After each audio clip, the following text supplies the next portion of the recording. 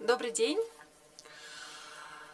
А, поскольку в названии доклада а, задействован тер, термин мифологизация, я остановлюсь на его определении и сошлюсь на работу специалиста в этой области, известного советского филолога и исследователя мифов Софьи Залмановны Агранович. Человек не может полностью объяснить мир и, по всей вероятности, не сможет. Но человек также не может и жить в необъясненном мире. Информации о мире у него мало, и чтобы объяснить мир, появляется мифологическое сознание. Миф э, понимается как форма сознания первобытного человека. Миф – это не сказка и тем более не бред. Это необходимая защита от множественной неопределенности окружающего мира. Путем домысливания мир объясняется – Миф сдерживает сознание, не дает ему распасться. Таким образом, миф необходим для создания и сохранения идентичности. Мифологическое сознание коллективно разделяемо. Если мы говорим о появлении индивидуального мифа, то это уже не миф, а признак безумия. Принадлежность к коллективному мифу открывает доступ к получению помощи от окружающих, к определенным ритуальным действиям, включая лечение – Мифы развиваются и со временем меняются на другие. Из мифа вышли современная наука, искусство и религия. Это знание успокаивает нас и как бы отстраивает от собственного мифологического строя. Хотя мы подозреваем, что это не совсем так, что не так мы и далеко от него ушли.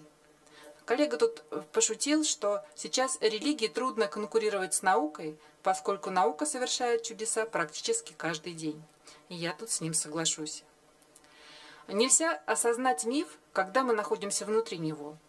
Вот мы, например, в основном считаем себя людьми современными и живущими вне мифа. Все сказанное э, о мифе выше не про нас, мы, безусловно, другие, и наше сознание не мифологично. Так ли это? Да, мы придерживаемся парадигмы научного знания. Это помогает нам в создании нашей профессиональной идентичности, дает пропуск в научное сообщество и доступ к э, высокотехнологичному лечению, если мы заболеем и мы всегда готовы расширить наши устаревшие представления, сменить их, если они станут напоминать нам миф. Или мы также можем вернуться к предыдущему уровню сознания, если, к примеру, характер проблемы, которую нам предъявляет пациент, будет угрожать нашей собственной идентичности. А, такие свойства мифа, как а, его архаичность, неосознаваемость, его мощная защитная охранная функция, его способность утилизировать тревогу и одновременно высокая степень искажения реальности сближают его с примитивными психологическими защитами. Можно предположить, что с мифологизацией болезни мы можем столкнуться у наших пациентов. И тогда к нам, как специалистам, возникает два вопроса. Первый – это насколько мы готовы с этим работать.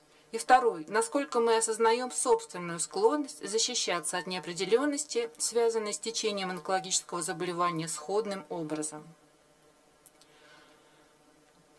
Готовясь к сегодняшней встрече и просматривая актуальные научные публикации, посвященные проблеме психосоматических соотношений, я в очередной раз убедилась, что несмотря на разработанность проблемы, ее исключительную сложность, мы снова и снова возвращаемся к простым идеям почти столетней давности. Причинно-следственная связь между стрессом и возникновением соматического заболевания, существование органа мишени, профиля психосоматической личности, они не доказаны. Но упорство в отстаивании приоритета психологических детерминант некоторых соматических заболеваний, включая онкологические, по-видимому, имеет более глубокие корни, чем просто склонность к психологизации клинической картины. Поэтому я буду говорить об отношении э, к понятию психосоматика, которое сложилось у нас и у наших пациентов, и у врачей, с которыми мы сотрудничаем, и о его влиянии на существующую практику. На примере онкологических заболеваний я попытаюсь ответить на два вопроса, э, которые вы видите на экране. Почему онкологические пациенты, осмысливая причины своего заболевания, могут обращаться к эмоциональным потрясениям, утратам, конфликтам, которые предшествовали э, постановке диагноза? И почему в результате осмысления своего личного опыта работы с онкологическими пациентами снова и снова воспроизводятся специалисты, которые склонны игнорировать современные знания об различных онкологических заболеваниях и которые продолжают в практической работе использовать представление о э, психосоматической природе рака. На мой взгляд, эти вопросы э, взаимосвязаны и крайне важны, поскольку рациональные представления некоторых психологов, психотерапевтов об этиологии рака крайне затрудняют наше взаимопонимание с врачами-онкологами. Э, э, это снижает авторитет нашей специальности и в конечном итоге не дает нам реализовывать в полной мере ту мультидисциплинарную модель оказания помощи онкологическим пациентам, о которой мы так много говорим. На всякий случай еще раз определю нашу позицию. Современные исследования не подтверждают связь между пережитыми стрессами, чертами личности, тревогой или депрессией с риском развития злокачественной патологии. Это большие, с десятками тысяч испытуемых, когортные перспективные исследования с продолжительностью наблюдения 6, 8, 9 лет, которые учитывают выраженность изучаемого фактора или вид рака – Группа в них формируется без участия исследователей, испытуемые здоровы, но имеют один из опытов, таких как стрессовые жизненные события или депрессия. Результаты, полученные подчас парадоксальны. Так, например, в группе женщин, переживших очень сильный стрессовый эпизод, заболеваемость рака молочной железы ниже, чем в группе женщин, чей стресс был умеренной силы. Подробнее ознакомиться с обзором исследований можно в статье по приведенной ссылке. На чем же основывается рациональная позиция специалиста? Я предположу, что в значительной мере ее существование может быть объяснено в той вторичной травматизации, которая возникает при работе с пациентами, переживающими ситуацию онкологического заболевания. У специалиста происходит актуализация собственного страха заболеть, страха утратить контроль над своей жизнью, актуализация своего страха смерти, страха своей смерти.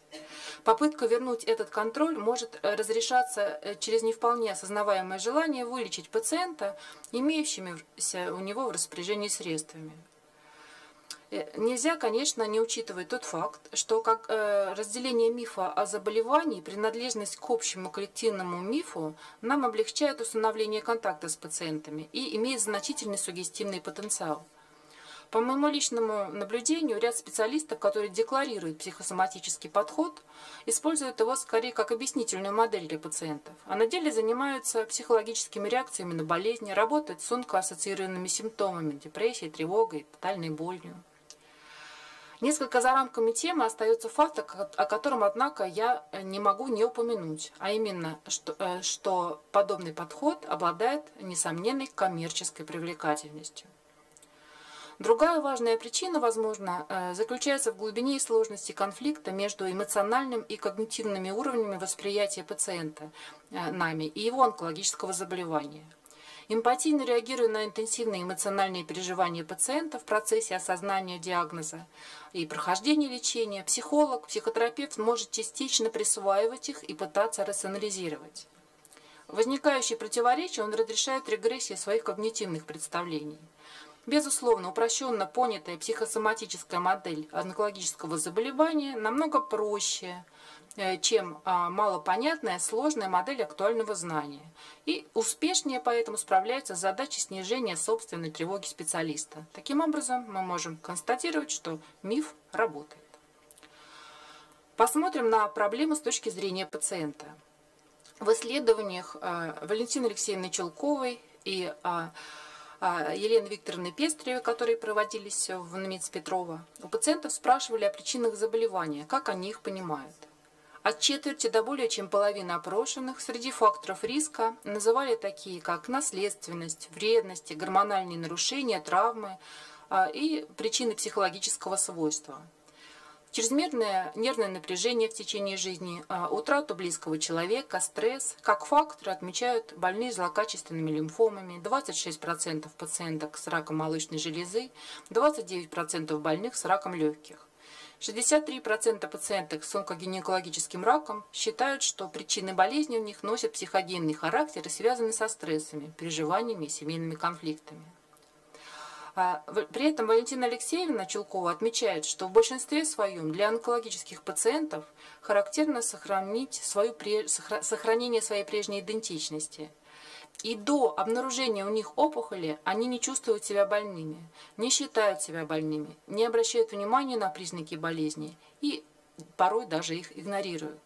Если сопоставить эти два наблюдения а, до и после а, объявления диагноза, то мы увидим, что те же самые пациенты, которые после получения диагноза сообщают психологу о высоком уровне дистресса в анамнезе, а, успешно э, до этого справлялись с ним, не переживали его так и не ощущали.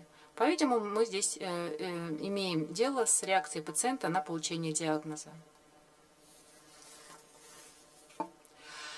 В силу работы игнорирования сообщение о заболевании раком всегда является неожиданным и вызывает у пациента психологический шок. Мы только что слышали об этом в предыдущем докладе. Актуализируются те психологические защиты, которые позволяют личности сохранить собственную целостность. Они будут работать в течение всего периода психологической адаптации заболевшего человека, человека процесса коррекции его отношения к болезни и лечению, создания внутренней картины болезни. Отмечено, что по мере осознания злокачественного характера болезни пациенты в большей степени начинают говорить о причинах своей болезни, в том числе о психологических причинах. По-видимому, это необходимо для восстановления прежней или формирования новой идентичности.